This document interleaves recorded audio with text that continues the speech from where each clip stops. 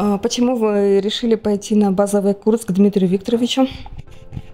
Ну, я решила, что пора освоить методику когнитивно-поведенческой терапии, поскольку действительно очень много статей, очень много лекций, много специалистов говорят о том, что это, этот подход действительно эффективен, и ну, даже если я не стану там каким-то адептом, как минимум, я считаю, каждый должен овладеть базовым набором техник КПТ, чтобы работать с, со случаями, которые требуют такого подхода.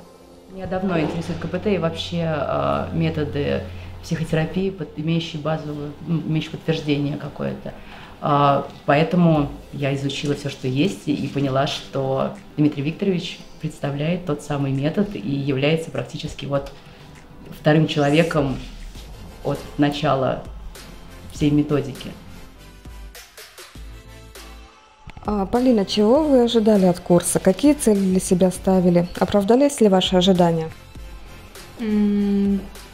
Мои цели более грандиозные, чем формат одного декадника, то есть я хочу найти весь базовый курс. И пока что была цель познакомиться, начать какое-то составлять представление когнитивно-поведенческой терапии, в общем-то, ожидания реализованы, но, конечно, появилось много вопросов теперь, много целей, новых задач. Как-то так. А понравился ли вам формат работы на мероприятии? И как вы можете оценить работу спикера? Формат, да, он достаточно удобен и прост для освоения работы спикера, соответственно, ну, лично мне нравится очень сильно, то есть формат подачи такой полуюмористической, полусерьезной манере с какими-то, с большим количеством примеров, с большим количеством личных ситуаций, это, конечно, здорово.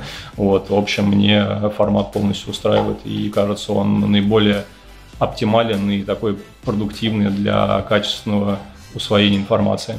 А к Дмитрию Викторовичу на курсе пошел по той причине, что ознакомился в интернете со всеми возможными э, вариантами прохождения э, этого обучения по когнитивно-поведенческой терапии и понял, что самый лучший профессионал, который есть в России, это Дмитрий Викторович.